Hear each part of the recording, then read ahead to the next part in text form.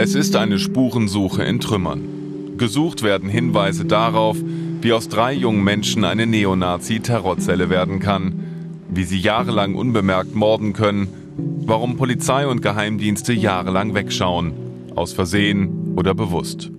Auch Böhnhardt, Mundlos und Schäpe sind mit Sicherheit nicht als Rechtsextremisten oder gar Rechtsterroristen geboren worden, sondern sie haben sich in einem bestimmten Umfeld dazu radikalisieren können.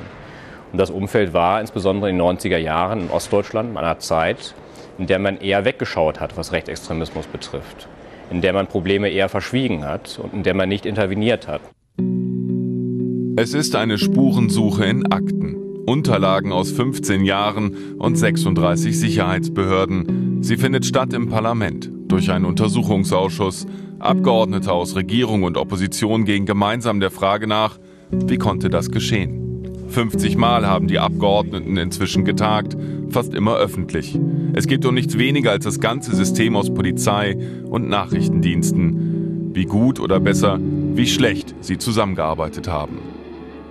Wir haben bisher keinen Amtsträger erlebt als Zeugen, von dem man hätte sagen können, ihre Arbeit war gut, sie haben das fehlerlos gemacht. Das ist ein Totalversagen unserer Sicherheitsbehörden und in dem Ausmaß war das nicht zu erwarten.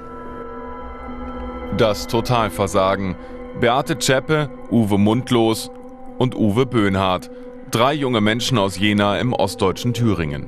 Alle drei sind Teil der Neonazi-Szene, gehören zum militanten Kern.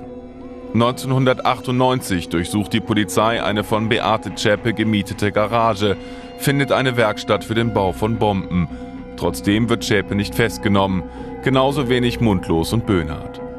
Sie tauchen ab, werden zum nationalsozialistischen Untergrund NSU.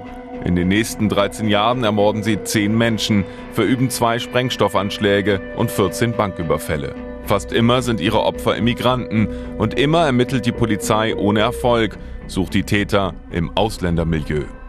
Mich hat äh, am meisten betroffen gemacht, dass mir viele der Angehörigen der Mordopfer gesagt haben, sie hätten über Jahre hinweg das Gefühl gehabt, sie seien gleich doppelt zum Opfer geworden.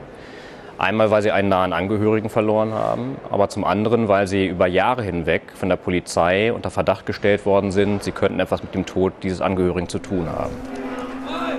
Dabei hatte der Staat so viele Möglichkeiten, die wahren Täter zu finden. V-Leute zum Beispiel, Verbindungsleute aus der Szene, die gegen Geld Informationen liefern. Oft nicht nur Mitläufer, sondern Redelsführer, die Kontakt zum NSU-Trio hatten. Informationen haben auch sie nicht geliefert. Wir haben hier erlebt, dass V-Leute angeworben oder übernommen wurden, die quasi direkt aus dem Gefängnis kamen die schwere Straftaten begangen hatten.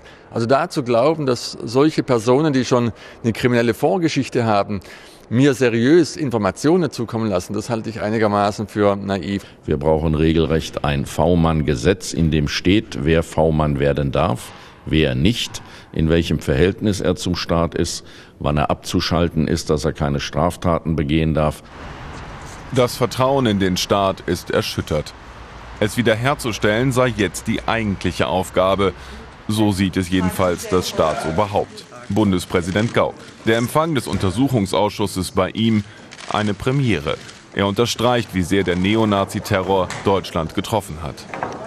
Ich möchte gerne, dass die Sicherheitsorgane dieses Landes, egal ob sie auf der Ebene des Bundes oder der Länder arbeiten, wirklich imstande sind, Schutz und Sicherheit aller Bürger, die hier leben, zu garantieren.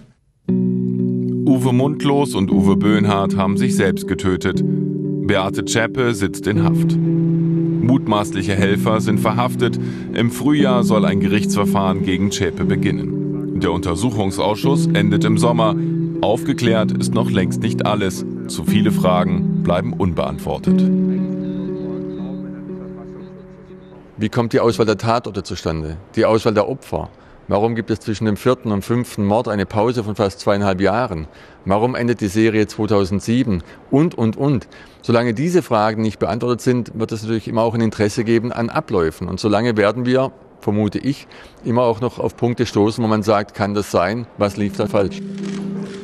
Seit einem Jahr versucht der Untersuchungsausschuss vor allem eines, öffentlich das Versagen des Staates zu verhandeln und so etwas vom verloren gegangenen Vertrauen zurückzugewinnen.